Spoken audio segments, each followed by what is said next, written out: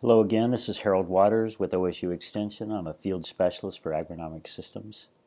And this time we'll talk about soil sampling and uh, methods to get quality results. So why do we soil test?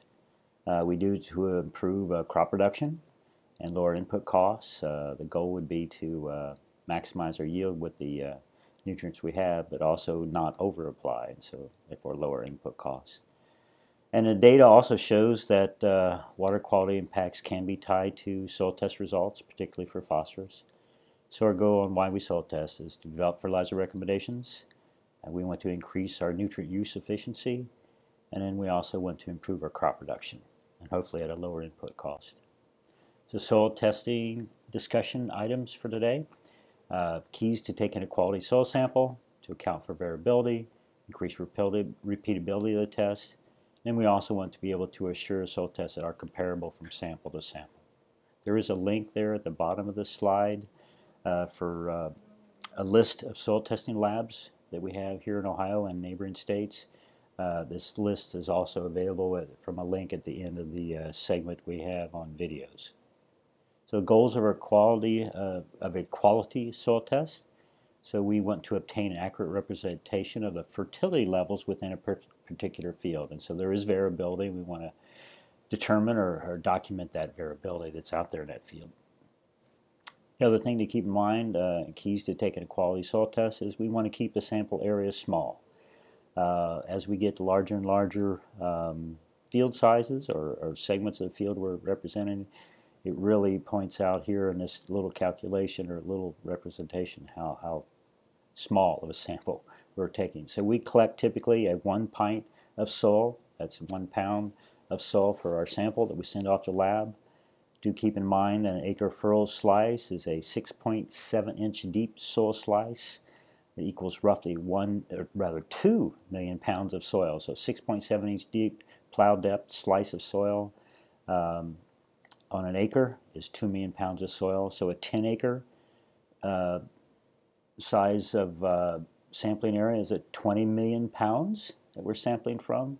And for 25 acres, which is somewhat the maximum that would be recommended uh, to take, is 50 million pounds. So this one pint of soil, that one pound of soil would be represented, representative of a 50 million pounds of soil. So we want to do a good job as best we can. So divide your fields. Uh, we would like to have, as I said, a sampling area that's less than 25 acres in size. We want to divide it up in such a way that it makes sense. So uh, when we make those divisions, we would then use a zigzag pattern to collect samples. If we have a history of banding uh, fertilizer in the past, we want to increase those number of cores. Instead of um, 10 to 15, perhaps go up to 20 to 25 samples. We also want to avoid sampling for six months after manure or two months after a fertilizer application. And if we wish to repeat in the same area, uh, we use a GPS tool of some kind to mark the sample points for follow-up sampling.